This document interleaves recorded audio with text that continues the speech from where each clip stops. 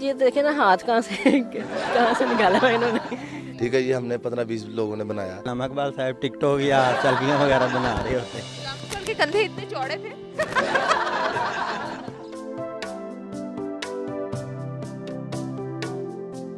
वालेकुम जी, लम्हा न्यूज़ के साथ मैं हूँ आपकी होस्ट फैरा फैज़ और इस वक्त मैं मौजूद हूँ गुलशना इकबाल पार्क में, जहाँ पर इलामा इकबाल का एक मुजस्मा नस्ब किया गया है और कल रात से बहुत बुरे तरीके से इसको ट्रोल किया जा रहा है, इनको बनाने वालों को ट्रोल किया जा रहा है। हम आवाम से भी जानेंगे उनके बारे, इसके बारे में उनकी क्या राय है, लेकिन अगर फेसबुक की बात करें ट्विटर की बात करें तो बहुत बुरे तरीके से इन चीज़ों को ट्रोल किया जा रहा है। कोई कह रहा है कि भाई, जिसने ये मुजस्मा बनाया है, उसके जड़ से हाथ ही काट देने चाहिए। कोई कह रहा है कि नए पाकिस्तान का ये नया मुजस्मा है, कोई कुछ कह रहा है, कोई कुछ कह रहा है तो यहाँ पर जितने लोग मौजूद हैं और जो आए हैं इस मुजस्मे को ख़ास तौर पर देखने के लिए, हम उनसे बात करेंगे और जानेंगे कि इस मुजस्मे के बारे में उनकी क्या राय है।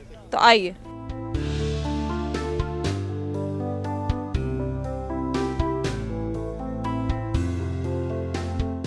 इसके बारे में ये कि जैसे ही मैं आज सुबह एंटर हुआ तो यहाँ पे मैंने देखा काफ़ी ज़्यादा लोग इर्द गिर्द जो थे, वो तबसरा कर रहे थे तो मैंने भी देखा आगे क्या चीज़ है।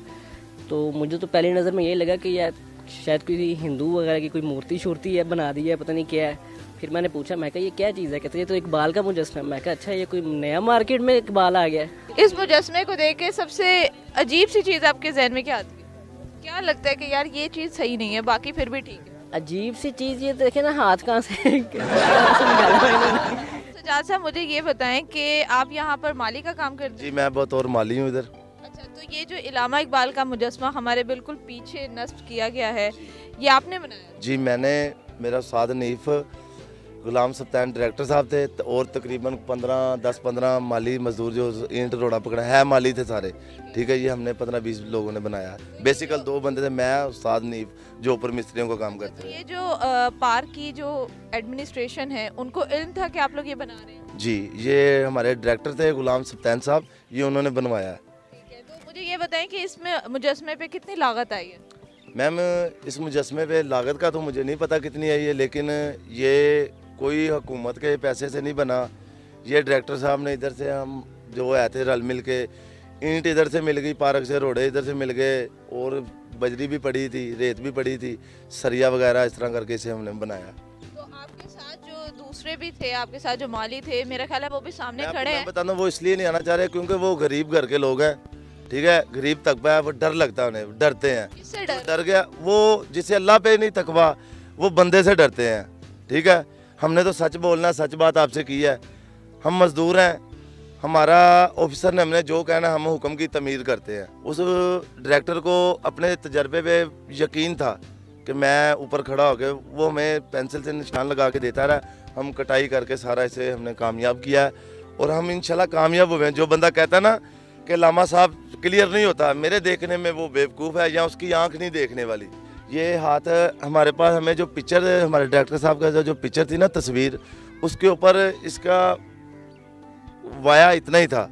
अगर हम इसका हाथ बाहर लेके आते तो वो पेंसिल जो लामा साहब के होंठ के साथ टच की गई है वो भी पेंसिल उधर नहीं थी आनी। ये तस्वीर के साथ पिक्चर के हिसाब से हमने ये बनाया है वो हमारे डायरेक्टर साहब हमें बताते गए हैं हम बनाते गए हैं। तो ये बताएँ ये मुजस्मा जब आपने पहली दफ़ा देखा था जी जी। तो मुँह से कौन सा पहला जुमला निकला? देखो जी ये मुजस्मा इलामा इकबाल साहब का है। और ये बनाया है लोग कई मुखालफत करते हैं कई इसकी तारीफ़ करते हैं। मैं तो ये तारीफ़ करूँगा कि ये हमारे मुल्क के कौमी शायर है। कौमी शायर लग रहे हैं? हाँ जी ये लग रहे हैं अभी अनकम्प्लीट है ये। जिस वक्त अभी इनका कलर होएगा इन पे सारा वो कब्बल जो बनाया हुआ है उसके ऊपर शेड डाला जाएगा ये मुकम्मल होएगा तो फिर आपका मुकम्मल मुजस्मा ये लगेगा इलामा इकबाल का। अच्छा मुझे ये बताएँ बाजुओं के बगैर हाथ कहाँ से निकाला हुआ है? अगर आप इसको अप्रिशिएट कर रहे हैं। ये बाजुओं के अंदर से कब्बल के अंदर से हाथ निकला हुआ है। ये कब्बल लिया हुआ है। अच्छा है ये कम्बल लिया हुआ है? उसके अंदर से हाथ निकला हुआ है। अच्छा। और ये वो तस्वीर है। आप पढ़िए आपने देखी होगी किताबों में तस्वीर। भी तो वही तस्वीरें मैंने देखी हूँ और जैसे मेरी नज़र इस मुजस्मे पे पड़ी है तो मेरा सच्ची में मैंने कहा "हाँ, ये क्या हुआ? देखो ये हमारे बड़े अजीब इंसान हैं। अगर उनका यहाँ मुजस्मा लग गया हमारी आने वाली नस्ल इन्हें देख के उनमें जज्बा पैदा होगा। क्या आपको लगता है पेंट करने के बाद जो है इसकी कोई शक्ल निकल आएगी? पेंट करके जैसे का इन्होंने बनाया पेंट करके ये रंगो स्टार ही बनाएँगे रंग बिरंगा पेंट करेंगे इस पे। ऊपर से पेन देखें इन्होंने कैसे का पकड़ाया हुआ है ना बाजू के बगैर हाथ है। पेन की जगह इन्होंने शुक्र है मोबाइल नहीं पकड़ाया। नहीं तो लामा इकबाल साहब टिकटॉक या सेल्फियाँ वगैरह बना रहे होते। मुजस्मे के बारे में क्या तासुरात हैं आपके? क्या कहना चाहेंगे? अच्छा पहला तासर तो इसे देख के आता है बुलहोल का जो मिस्र में एक ड्रोना सा मुजस्मा। है इसमें कोई बैलेंस नहीं कोई चीज़ नहीं कोई प्रोफेशनलिज्म नहीं। अवामी मकाम पे लगाने के लिए ये कोई वॉल्टियर किस्म के मुजस्मे तो नहीं होते?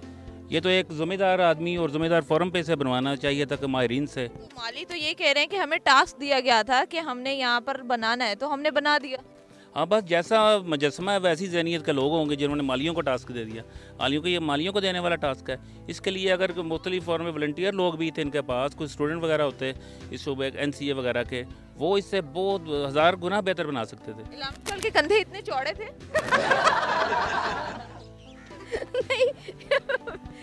अब ज़ाहिर है रियल में और जो उन्होंने बनाया उसमें तो फ़र्क होगा ना। इतना इतना ये तो कोई रेस्लर बना दिया। बिल्कुल इन्हें गलत इन्हें चाहिए कि ये इन्हें ख़त्म करें और दोबारा बनाया जाए। पहला क्या जुमला निकला था ये देख ये जिसने बनाया ना उसने पता नहीं क्या चीज़ देख के बनाई है उन्होंने